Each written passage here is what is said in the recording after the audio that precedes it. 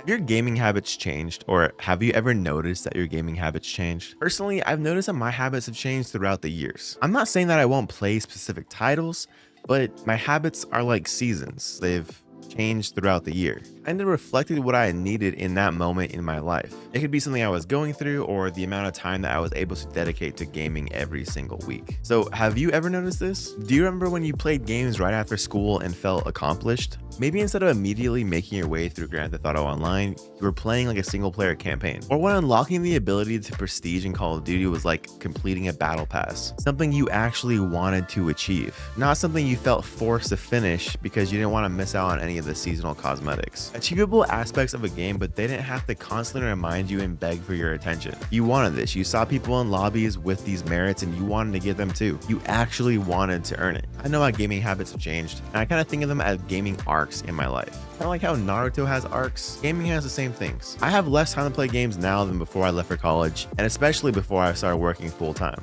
But when you look back and you start thinking about it a bit more, gaming habits get a little bit more interesting. It's more than I just don't have any time for that or I haven't played that game yet, I haven't heard about it. So here's my main question. Do you think gaming meets you where you're at or do you meet gaming where it's at? Before we see where I'm trying to go with this, we have to start from the beginning. Elementary gaming. When you were younger, you had all the time in the world, or at least everyone made you believe that. When the final bell rang at school, you knew it was time to hop on Xbox Live because you most likely finished your homework before class even ended. And sure, you had some responsibilities like chores, maybe you were on a sports team or you were hanging out with some friends, but most days you knew where you could find your friends, and that was playing games. Even if you were hanging out in person at some point during that time, you'd be like, all right, dude, I'm gonna go home, I'm gonna have some dinner, I'm gonna hop on Call of Duty, Gears of War, Halo, whatever it was. And you'd be like, all right, see you there. Maybe you'd be in a lobby for like an hour before your friends even got online, but you knew they'd be there eventually. During these times, you could spend hours playing games and not even realize how much you were leveling up every single day.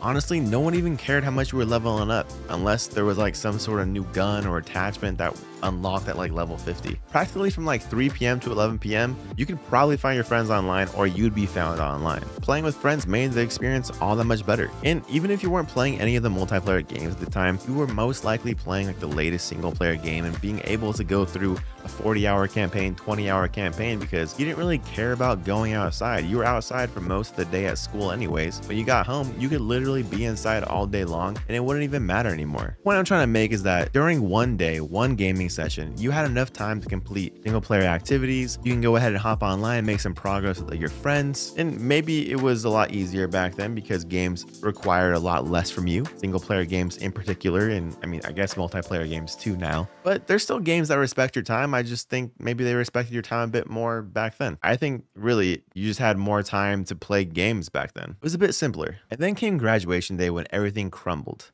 Just kidding. I, I don't think everything crumbled unless you absolutely hated college. But after high school, most people left for college or whatever reason that was, and you kept up with a few of them. And I wouldn't say you kept up with everyone, most likely, but you did keep up with a few of them. I would say that's probably true for most people, but you shortly realize college is not like high school. You might be spending about two weeks to a month writing one essay, where in high school you could finish that essay in like one sitting. This meant I needed to change the way I viewed my hobbies. And my hobbies were basically the same from when I was in high school. Video game, sports, hanging out with friends. You know, actually think about it now, those are my hobbies to this day. So I guess things really haven't really changed that much. But in college, I didn't really have a lot of time to finish single player games. I didn't have enough time to focus on an RPG that was like 100 hours long. At least I didn't have the time to play it consistently. I remember I started playing Persona 5 in college. I didn't finish until the pandemic. So that's like 2016 and finishing in like 2020, 2021. Absolutely fantastic game. And I wish I did finish it back then, but I'm glad I finished it when I did.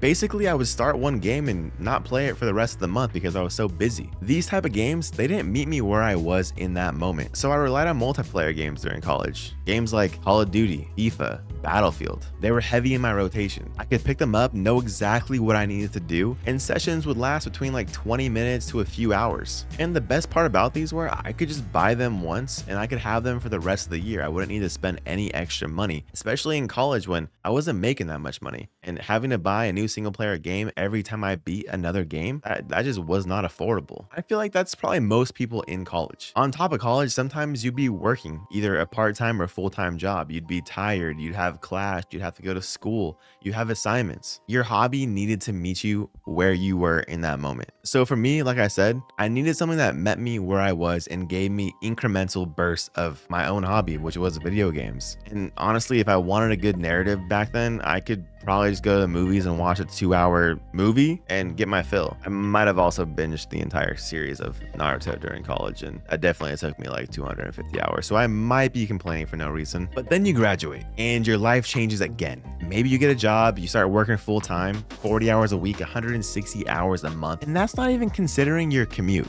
or time it takes you to prep or get ready or do this and that. You're spending way more time at work, even not at work. And now when you come home, are you immediately going to want to play video games? Probably not. You're probably going to be even more tired. And what's that old saying? More money, more problems. When you have more money, you start to have less time. It's kind of inevitable. When your paychecks begin to get bigger, it's because you're working longer hours or the work you're doing is a lot more stressful. Like just think about it. You'd probably never have a backlog if you could spend 160 hours a month playing video games. Or you might just spend those 160 hours playing games like Call of Duty or multiplayer games and you wouldn't notice a difference. So the saying more money, more problems, it's kind of true. You, you kind of have a responsibility to yourself now and maybe you feel guilty laying on the couch all day or at your desk playing games. Maybe you need to go work out, walk your dog, make food, go to the grocery store. Maybe when you get home, you have to clean, do your laundry, hang out with your wife, husband, partner, whatever it is. Maybe you have kids. These things take time and they cut into the time that you have away from work. So the question is, how do you play games now? You kind of have to make sacrifices. Do you want to focus on the latest single player game or do you want to work on the backlog that you already have? Maybe you just want to play multiplayer games with some friends. You're even hanging out with your friends these days.